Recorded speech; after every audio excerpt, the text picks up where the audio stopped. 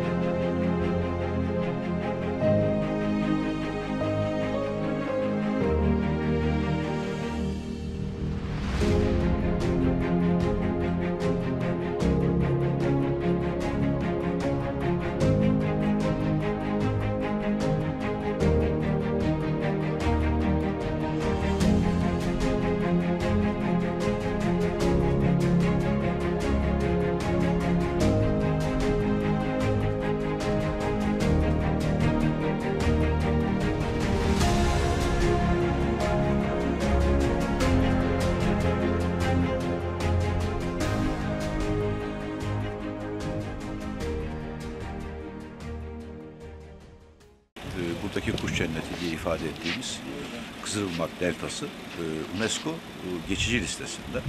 Bununla ilgili çalışma devam ediyor.